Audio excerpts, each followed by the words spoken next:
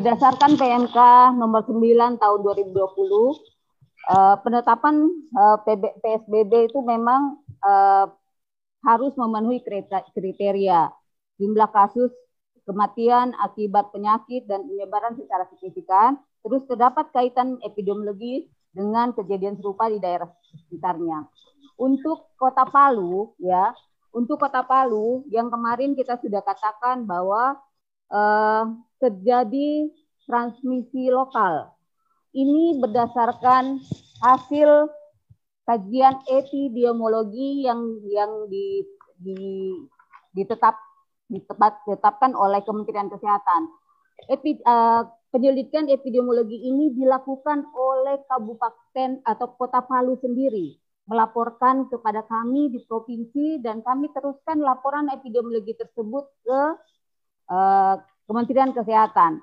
Kalau bisa melihat bagan penularan yang ada di uh, di Kota Palu, ya bisa melihat di di sini Bapak bisa lihat ya.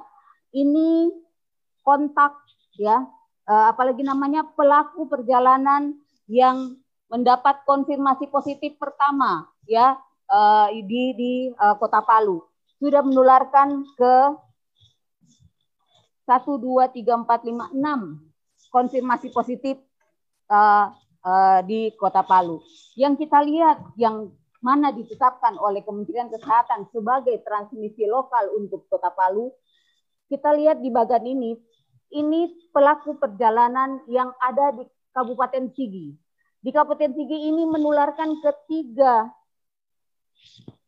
ketiga orang konfirmasi positif yang ada di Kota Palu. Yang ada di Kota Palu. Kita lihat di bagian ini Pak ya. Terus yang konfirmasi positif satu yang di Kota Palu tersebut, inisial S yang sekarang berada di Rumah Sakit Madadi, sudah menularkan ke konfirmasi positif kedua. Ya, ini inisial A. Ini juga berada di Kota Palu. Berada di Kota Palu ini sekarang berada rumah sakit Madani. Yang ini yang konfirmasi positif kedua sudah menularkan lagi ke konfirmasi positif ketiga. Ini juga berada di Kota Palu, Pak. Ini juga berada di Kota Palu. Jadi ini sudah masuk ke dua generasi. Yang ketiga ini sudah menularkan lagi konfirmasi positif ke yang keempat, Pak. Ini sudah masuk generasi ketiga. Ini masuk generasi ketiga terjadi penularan transmisi lokal dari yang pertama sampai generasi ketiga. Sekarang ini sudah dilakukan rapid lagi kepada melakukan tracing di bawahnya dan sudah menghasilkan rapid positif untuk yang pasien D ini. Ini yang menjadi uh, ketetapan dari Kementerian Kesehatan bahwa Kota Palu sudah menjadi transmisi lokal.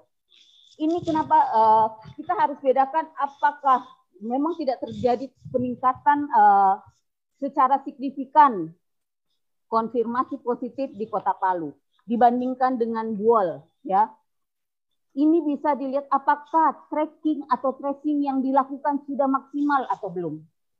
Ya, ini harus kita bedakan tracking yang dilakukan masih ada yang belum terkonfirmasi, Pak. Ya, ada yang sudah konfirmasi uh, apa rapid positif belum dilakukan tracking lagi ke bawah. Nah, ini yang harus diperhatikan oleh uh, maaf Dinas Kesehatan uh, Kota Palu itu tersendiri. Untuk yang buol, kenapa terjadi peningkatan yang signifikan sekali di uh, sana untuk konfirmasi positif? karena semua pelaku perjalanan ya semua pelaku perjalanan mereka rapid kami siapkan rapidnya 500 waktu itu Pak ke Buol mereka rapid 250 itu konfirmasi reaktif. Diambil swab 50 hasilnya seperti begitu. Peningkatan 29 langsung uh, apa uh, swab positif di Kota Buol. Jadi di Kabupaten Buol. Jadi mereka melakukan trackingnya, trackingnya sudah sangat maksimal. Memang kalau kita lihat dari hasil tracking itu banyak orang yang tanpa gejala, banyak orang yang tanpa gejala yang dilakukan uh, pemeriksaan rapid test dan hasilnya reaktif. Nah, ini Kota Palu juga sebaiknya melakukan hal yang sama untuk itu. Jadi kita bisa akan lihat uh, apalagi mungkin akan terjadi peningkatan kasus karena Kota Palu sudah dulu ditetapkan sebagai transmisi lokal oleh Kementerian Kesehatan. Untuk diketahui, penetapan transmisi lokal oleh Kementerian Kesehatan itu sudah melalui kajian epidemiologi dan itu ditetapkan oleh Kementerian Kesehatan untuk Kota Palu per 28 April tahun 2020 kemarin. Itu bukan dari kami, bukan dari Dinas Kesehatan Provinsi. Kami hanya melanjutkan penyelidikan epidemiologi yang dilakukan oleh Kota Palu ke Kementerian Kesehatan. Jadi kajiannya dilakukan oleh Kementerian Kesehatan sendiri. Mungkin itu bisa yang kami sampaikan, Pak. Terima kasih atas perhatiannya. Assalamualaikum warahmatullahi wabarakatuh. Assalamualaikum warahmatullahi wabarakatuh. Terima kasih banyak Bu Dokter. Kita ternyata untuk transmisi lokal sudah berada di generasi ketiga ya. Nah, memang ada beberapa soal yang seperti dikemukakan Ibu Dokter tadi. Pertanyaan adalah apakah kita sudah melakukan rapid rapid test massal gitu. Seperti yang dilakukan di Buol. Tadi juga pembicara sebelumnya tadi kalau saya tidak salah tadi ada juga yang menyinggung kalau tidak salah ombudsman tadi perlunya dilakukan eh, rapid test eh, massal. Terus kemudian kita harus melakukan tracking secara maksimal eh, terhadap eh, mereka yang sudah pernah terkontaminasi dengan eh, pasien eh, positif ini.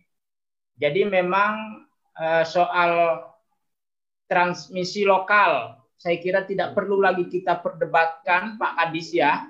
Ini sudah tuntas bahwa kita sudah masuk dalam kategori daerah transmisi lokal sejak 28 April 2020 berdasarkan data-data yang dikemukakan dan klaim itu juga eh, berdasarkan kajian epidemiologi dari pemerintah Kota Palu dalam hal ini Dinas eh, Kesehatan.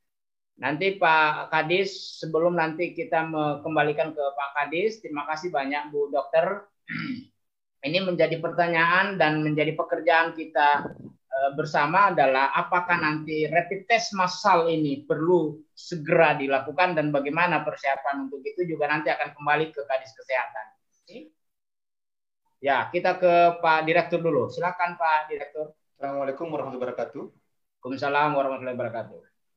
Uh, baik, yang saya hormati moderator dan seluruh senior-senior saya, teman-teman dan adik-adik saya yang sempat hadir pada diskusi malam ini. Saya sangat berbahagia sekali karena antusias sekali nih semua. Karena ini menggambarkan bahwa kita semua ingin hadir dalam upaya memutus mata rantai COVID-19 khususnya di Kota Palu. Dan kita prihatin dengan kejadian yang ada di Boal. Uh, kalau prinsip saya di sini adalah yang perlu kita tindak lanjut sekarang adalah persiapan. Apakah mau ada PSBB atau tidak ada PSBB harus dipersiapkan. Itu nomor satu dulu. Karena apa? PSBB itu bisa lahir apabila kriteria-kriteria yang sudah ada sesuai dengan Permenkes itu, itu ada. Nah sekarang, yang hal-hal yang tidak diminta-minta. Minggu depan, dua minggu depan, tiba-tiba kriteria itu memenuhi. Apa yang harus dilakukan? Oleh karena itu, pemerintah, termasuk kami, itu harus mempersiapkan. Tapi saya yakin dan percaya, kalau tipe, tipikal eh, Pak Wali Kota ini orangnya kan gila kerja. Saya yakin bisa kita laksanakan. Kenapa? Persiapan ini mengantisipasi hal-hal yang apabila kriteria itu sudah memenuhi sebagaimana Pak Dr. Irwan tadi katakan, bahwa ini harus persiapan. Memang betul, itu nomor satu dulu, persiapan. Mau diterapkan atau tidak, yang harus dilakukan persiapan. Tetapi saya yakin dan percaya, Kota Palu sudah pernah tertimpa musibah yang luar biasa dahsyatnya. Soal-soal menangani eh, soal sosial, kemanusiaan, walaupun tidak sempurna, tetapi sudah ada pengalaman-pengalaman dalam mengatasi persoalan-persoalan sosial.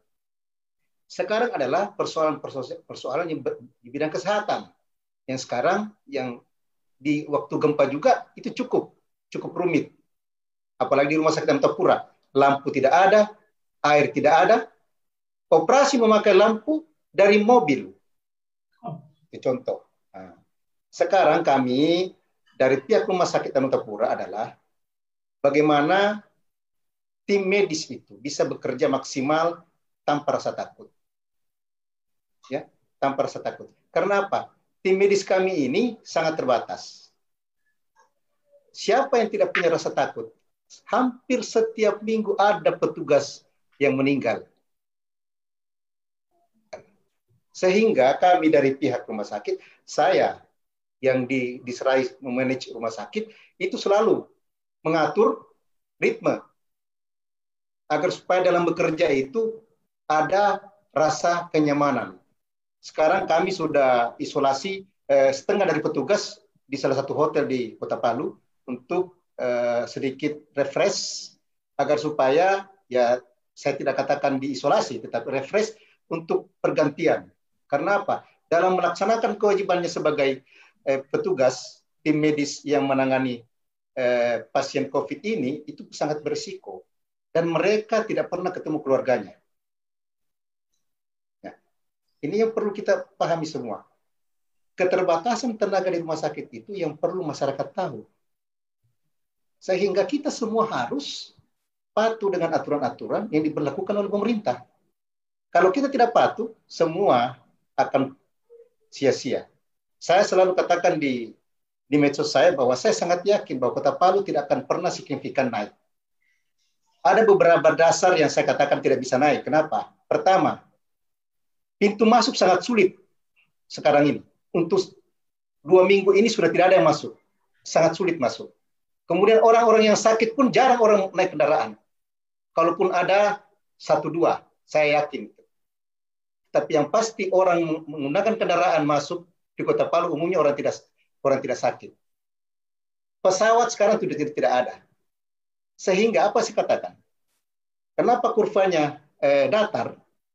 Dalam kurun waktu Anutapura sudah hampir tiga minggu stagnan tetap. Kenapa? Ini rupanya yang saya perhatikan juga tracing di lapangan sudah cukup bagus. Jadi apa yang dikatakan tadi eh, Dinda Julian ini bahwa perlu kerja keras ya betul. Tapi yang kalau saya lihat di lapangan itu luar biasa. Enam posko yang dibuat oleh Bapak eh, Pemkot, instruksi Pak Wali itu merupakan eh, cara strategi yang jitu. Saya yakin di seluruh Sulawesi Tengah ini tidak ada yang melakukan seperti itu. Pak Andi Sumiadi lihat sendiri kan di lapangan luar biasa. Ada yang mengatakan ada kebocoran-kebocoran. Tidak ada aktivitas sesuatu yang tidak ada kebocoran sedikit pun. Pasti adalah, tidak mungkin sempurna. Tetapi apa yang dilakukan oleh eh, pemerintah kota itu sudah luar biasa. Menyiapkan sarana OTG ODP itu di asrama haji. Sudah disiapkan. Nah, apabila itu full, kami Rumah Sakit Anutapura sudah menyiapkan. Kemarin, tadi malam saya sudah laporkan sama Pak Sekot, bahwa Rumah Sakit Anutapura ada penurunan angka kunjungan pasien di rumah sakit. Hampir 60 persen.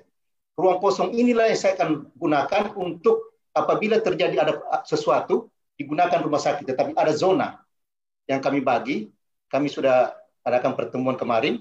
Ada zona di rumah sakit, zona yang bisa dilalui masuk untuk pasien khusus COVID dengan pasien umum. Itu yang kita bagi. Jadi eh, Kota Palu tidak perlu terlalu khawatir kalau soal tempat. Rumah sakit Napura sudah siap. Walaupun ada yang mengatakan itu berisiko. Nanti rumah sakit Napura tidak ada nanti yang kunjungi kalau ditempati. Bukan soal itu persoalannya. Persoalannya bagaimana kita rumah sakit itu bisa menyiapkan pelayanan apabila ada apa-apa. Itu tugas kami dari pihak rumah sakit. Jadi saya apresiasi kerja uh, para surveilan Kota Palu yang betul-betul sudah turun ke lapangan. Nah, ini mungkin perlu ditindaklanjuti lagi, lebih keras lagi, yang sebagaimana dikatakan bahwa mungkin eh, di Buol itu eh, begitu gencar di Kota Palu juga gencar. Di pos-pos itu ada pemeriksaan rapid test di sana. Apabila ada gejala-gejala yang diragukan, itu langsung rapid test. Dan hasil rapid testnya itu apabila positif, sudah pasti tempatnya di asrama haji, di pondok. Dan saya rasa itu. Makanya saya katakan, untuk Kota Palu, saya sangat-sangat yakin itu agak sulit mau signifikan. Kenapa? masyarakat juga saya lihat walaupun kalau kasat mata masih ada, tetapi secara umum secara umum orang sudah mulai ada rasa takut secara umum ya. Karena apa? ini apa namanya PSBB yang dilakukan juga Jakarta ini buktinya kan menanjak terus sudah diterapkan di Jakarta. Tapi faktanya apa? Hampir semua daerah yang sudah diterapkan tetap signifikan naik terus. Menjadi perlu dievaluasi di sini. Kenapa sudah dilaksanakan PSBB tetap juga ada tingkat kenaikan yang luar biasa. Saya kira ini perlu kita uh, juga evaluasi apakah PSBB ini sudah efektif. Kalau saya saya katakan untuk ukuran Indonesia, ukuran Indonesia tidak akan pernah berhasil PSBB secara maksimal. Ya, saya tidak bilang Palu secara umum. Kenapa? Budaya kita sudah beda. Contoh, misalnya lockdown saja, kita tidak boleh keluar. Tetangga mau ke mana om? Ada saya punya cucu di tinggi di sakit, saya harus ke sana. Tidak mungkin ada yang larang. Ini budaya-budaya yang, yang sulit. Agak sulit kita mau terapkan betul-betul sama dengan seperti di Vietnam. Saya kira begitu untuk sementara. Assalamualaikum warahmatullahi wabarakatuh. Berdasarkan Permenkes nomor 9 2020 ada tiga ada tiga kriteria yang harus dipenuhi.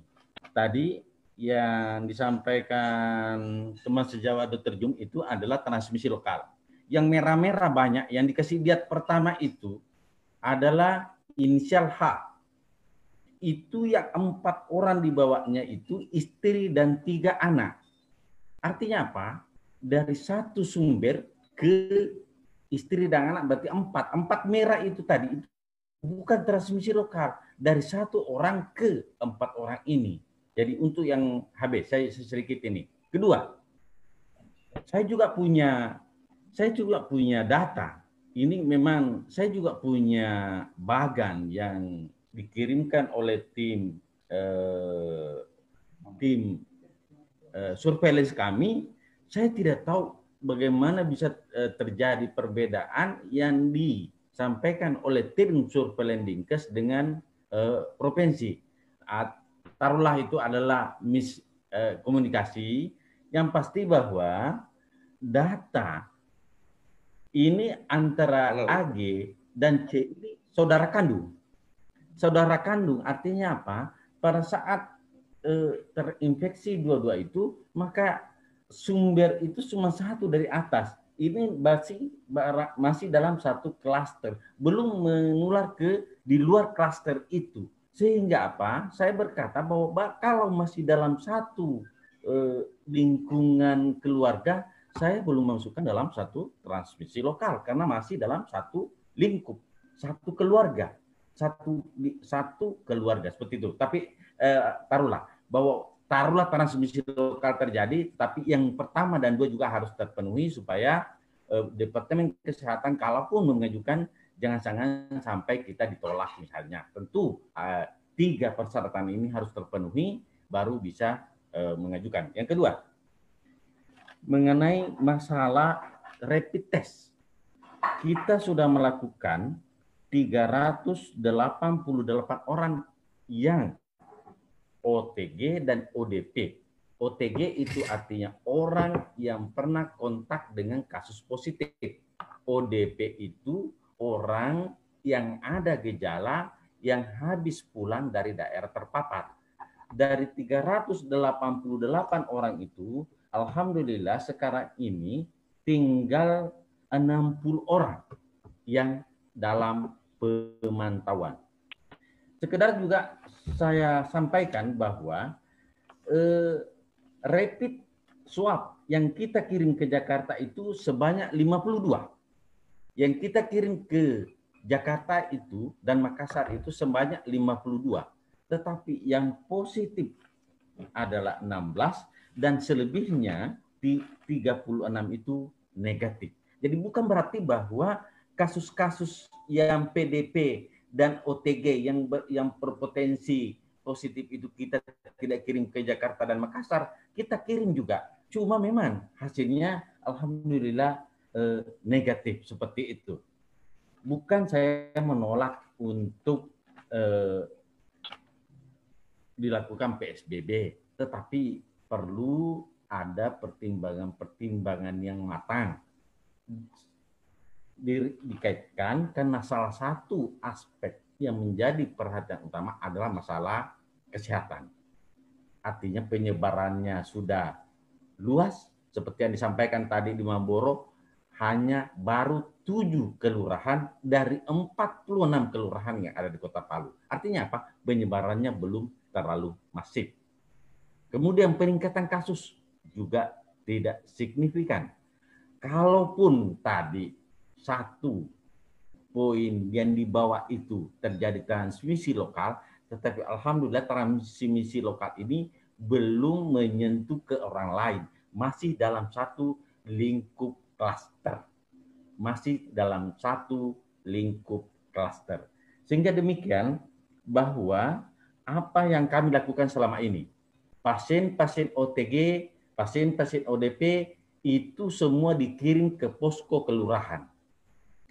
Di posko kelurahan sehingga pengawasan, baik pengawasan yang dilakukan di asrama haji maupun ke pengawasan di tengah masyarakat untuk pasien-pasien ODP OTG ini selama ini berjalan dengan maksimal berkat instruksi Bapak Wali Kota Palu.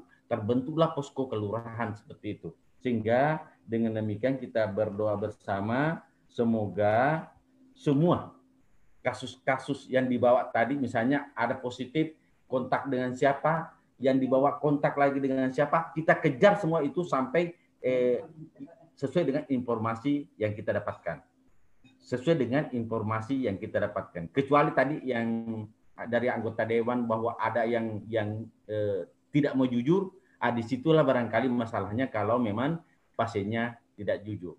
Jadi insya Allah selama ini eh, apa yang kami lakukan dengan membentuk relawan lebih 200 relawan terdiri dari dokter, perawat, surveillance, eh, ada bekerja bersama sekarang lebih 200 orang, sekitar 258 relawan diterjunkan oleh Bapak Wali Kota untuk mengatasi termasuk pelaku perjalanan, termasuk OTG, termasuk ODP, termasuk tim di puskesmas semua eh, bahu membahu untuk melakukan pelacakan pelacakan baik ODP dan OTG. ODP itu adalah orang yang dari luar kota dan tiba-tiba muncul gejala, OTG itu adalah ya orang yang habis berkontak dengan kasus positif. Sehingga dengan demikian, kalau sumber penularan ini bisa kita tangkap, kita tahu bahwa yang bisa menularkan adalah pasien OTG dan ODP. Kalau pasien ODP dan OTG ini mampu kita melakukan persuasif misalnya seperti sekarang sudah dirawat 22 orang di asrama haji. Insya Allah kita jamin semuanya itu sudah aman dan tidak akan menularkan kepada orang lain. Dan Alhamdulillah Dindaku tadi dari Rumah Sakit Antapura sudah menyiapkan lagi tempat sekitar 80 tempat tidur. Mudah-mudahan ke depan semua pasien ODP OTG itu dengan keikhlasan, saya mohon dengan keikhlasannya supaya tidak menularkan kepada anaknya, tidak menularkan kepada istrinya, kepada suaminya, kepada tetangganya, dan seluruh masyarakat kota Palu, ikhlaslah untuk dilakukan pengawasan baik di rumah sakit maupun di pondok perawatan yang telah disediakan oleh Pemda Kota Palu. Seperti itu langkah-langkah yang kami Baik. lakukan. Semoga ini efektif dan pasti harus didukung oleh seluruh elemen masyarakat Kota Palu. Terima kasih banyak ya. atas segala perhatiannya. Jaga jarak, pakai masker, di pasar jangan terlalu banyak tawar-menawar, jangan terlalu banyak kontak, dan lain-lain sebagainya. Semua itu ada di buku panduan yang telah dicetak oleh Pak Wali Kota sebanyak 15.000 Eh, lembar dan ini sudah disebar di seluruh masyarakat Kota Palu. Terima kasih moderator, terima kasih semuanya. Assalamualaikum warahmatullahi wabarakatuh. Uh, tapi prinsip begini, kita tidak lagi berlama-lama dalam perspektif uh, pemahaman uh, transmisi lokal, tetapi bagaimana upaya kita bersama untuk bisa duduk satu meja menerjemahkan semua langkah-langkah kebijakan strategis kita dari semua aspek. Saya kira bagus, itu yang harus ditempuh Eh, karena ap apa pun jika PSBB diberlakukan, kita tetap harus konsultasi ke tingkat provinsi, termasuk pemahaman kita bersama tentang semua aspek. Baik, saya mempersilakan Pak Dekan, Pak Dr. Nurdin Rahman. Pak Prof. Nurdin Rahman, silakan Pak closing statementnya sebelum nanti ke Pak Sofian Farid Lemba yang kami hormati. Baik, Assalamualaikum warahmatullahi wabarakatuh. Waalaikumsalam. Terima kasih atas kesempatan kedokternya. Ya, saya kira sudah banyak sekali saran-saran terkait jika seandainya memang PSBB dilakukan. Yang saya stretching adalah masalah pengadaan bahan pangan pada saat PSBB dilakukan. Saya kira tadi sudah ada di banyak juga informasi dari dinas sosial dan dinas pangan terkait mengenai kesiapan untuk uh, penyiapan uh, pangan ini. Saya kira uh, terkait juga masalah social distancing, social distancing saya kira tetap kita lanjutkan, termasuk juga masalah uh, pemetaan uh, yang pemetaan apa tadi pemetaan daerah yang terkait dengan uh, yang terpapar tadi. Saya kira itu perlu dilakukan. Kemudian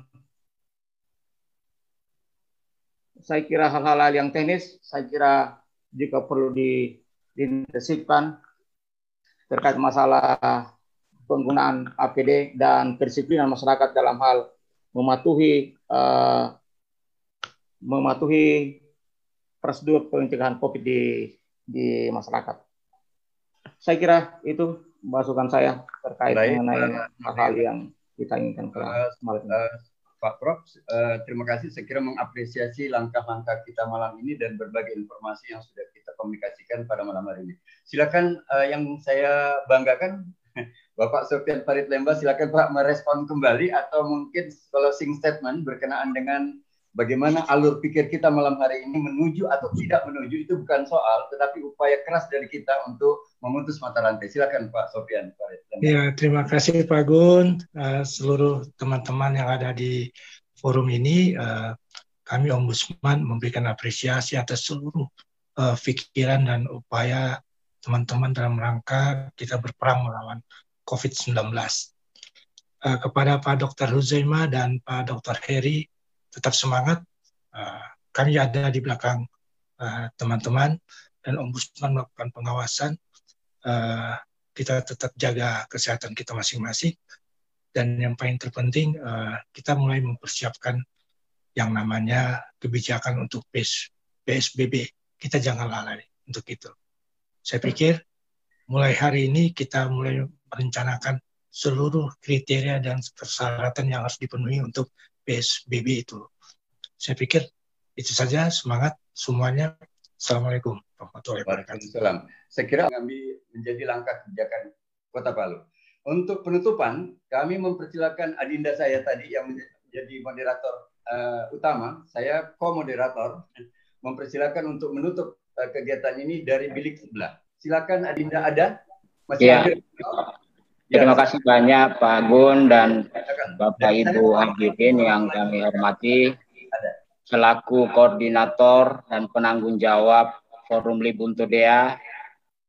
Saya mewakili teman-teman semua dan Bapeda mengucapkan terima kasih dan penghargaan yang setinggi-tingginya kepada Bapak Ibu hadirin atas beberapa masukan yang tim kami sudah mencatat dan akan kami sampaikan secara tertulis kepada pemerintah Kota Palu. Catatan penting yang pertama kita akan mendorong pemerintah terus melakukan persiapan-persiapan strategis uh, untuk mengantisipasi sedini mungkin karena mungkin hari ini kita dalam kondisi normal tidak kita tahu satu dua hari ke depan. Yang kedua agar pemerintah Kota Palu bersama pemerintah provinsi eh, dimaksimalkan rapid test massal jika memungkinkan terutama dari sisi kesiapan anggaran dan peralatan. Dan yang ketiga adalah sosialisasi masif dengan mening meningkatkan peran dari Infocom karena eh, terus kita lakukan sosialisasi itu artinya kita terus mawas diri dan masyarakat kita juga terus uh, menjaga diri karena uh, meskipun data-data yang dikemukakan pada malam hari ini uh, tidak ada perkembangan yang signifikan, tetapi kita harus terus waspada. Terus yang ketiga mengintensifkan pengawasan di pintu-pintu masuk dan keluar di kota ini dan tadi sudah ada beberapa masukan saya kira itu sangat penting sekali dan yang tidak kalah pentingnya adalah kita tetap melakukan komparasi dan belajar dari daerah yang sudah memperlakukan PSBB sejauh mana eh, efektivitas atau dampak dari pemberlakuan PSBB itu. Dan ini PSBB ini yang saya kira menarik juga perlu kita eh, perhatikan. Terus mendorong kepatuhan masyarakat terhadap eh, protap kesehatan COVID ini dan saya kira ini tidak menjadi tanggung jawab pemerintah semata atau dinas kesehatan semata, MUI dan lembaga-lembaga teknis lainnya, tetapi menjadi tanggung jawab bersama. Gitu. Saya kira Ombudsman, Om Sofyan juga harus kita selamatkan, Pak. Jangan sampai terpapar. Itu kalau Bapak terpapar, tidak ada yang menggonggong kita semua ini. Kira-kira itu. Jadi harus semua kita selamatkan. Pak Kadis Kesehatan, Pak Kadis Kesehatan, kalau Bapak yang kena, Pak, pingsan kita orang semua ini. Tidak ada yang mengurus masalah kesehatan. Apalagi kalau Pak Dokter Heri yang kena. Itu. Ya, saya kira ini adalah menjadi tanggung jawab kita bersama, tidak semata-mata menjadi tanggung jawab pemerintah, apalagi kita ini berada di ibu kota Provinsi Sulawesi Tengah. Terima kasih atas seluruh perhatian. Mohon maaf atas segala kekurangan. Selamat menjalankan ibadah puasa. Semoga corona jauh dari kita orang semua. Palu bebas dari corona. Assalamualaikum warahmatullahi wabarakatuh. Sampai jumpa di diskusi dengan topik yang berbeda.